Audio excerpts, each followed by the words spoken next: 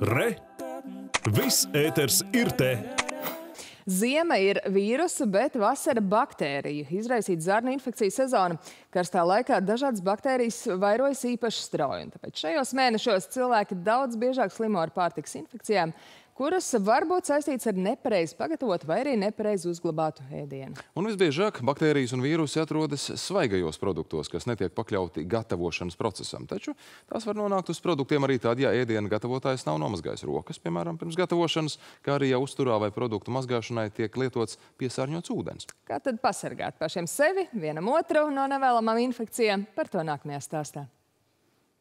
Vasaras sezonā īpaši uzmanību jāpievērš pārtikas izraisīto infekciju profilaksei, kas būtu jāzina un jāņem vērā, lai samazinātu inficēšanās riskus un izvairītos no saslimšanas. Speciālisti norāda, ka akūtas zarnu infekcijas tiek reģistrētas visa gada garumā, taču vasaras periodā saslimstību skaits palielinās. Un šī tendence ir saistīta tieši ar pārtikas gatavošanu ārā, ar pārtikas nepareizu uzglabāšanu, temperatūras režīmu neievērošanu, kā arī ar higiēnu, ja, ar personīgo higiēnu, ar roku higiēnu. Tāpēc arī pārtika tiek vairāk piesārņota, piesārņota gan ar baktērijām, ar vīrusiem un parazītiem. Pārtikas izraisītās infekciju saslimšanas var būt ļoti nopietnas un pat bīstamas, jo sevišķi senioriem un bērniem, kuriem šīs saslimšanas var norisināties ar komplikācijām. Vēl viena nopietna grupa ir cilvēki ar novājinātu imunitāti. Šai pacientu grupai var iestāties ļoti nopietnas komplikācijas. Gan šoks, bezsamaņa, pastiprināts šķidruma zudums caurējas rezultātā vai vēmšanas rezultātā, attiecīgi elektrolītu bojājumi, ko mēs saprotam, kālijas, natrijas, vēmšanas un caurējas dēļ viņi zūd un var ietekmēt sirdsdarbību. Varbūt gan pēkšņa sirds apstāšanās, gan spiediena nokrišana līdz nenosakāmam līmenim un arī nieru mazspēja. Gala rezultātā var pat iestāties nāve.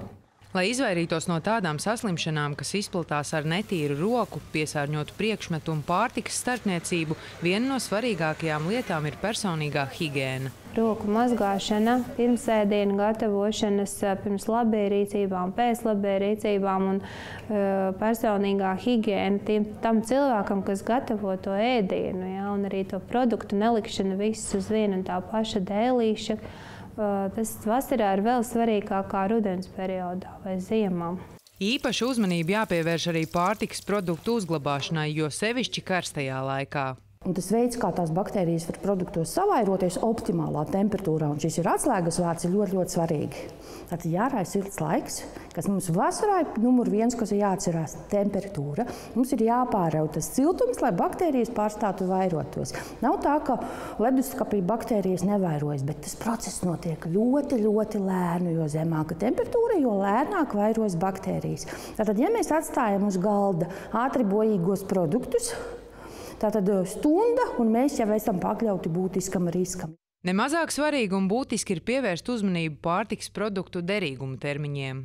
Nedrīkst lietot produktus, kur ir pēc derīguma termiņa, un es kā neatbalstu šīs pēdējās dienas akcijas, kad pārtikas produktu derīguma termiņš ir praktiski jau iztecējis un, un, un tiek iedot atlaidi, un cilvēki ēd jau, jau tādu produktu, kā atļaušos teikt, uz robežas. Produktu pareizi uzglabāšana, jo karstāks laiks, jo nopietnāk ir nepieciešams produktu uzglabāt leduskapī un neglabāt tos tur ilgstoši. Ieteikumi un daži piesardzības pasākumi ir būtisks solis, lai mēs pasargātu sevi un viens otru no iespējamām saslimšanām. Ramona Salmiņa, Andris Sārma, Ints Ivans, Latvijas televīzija.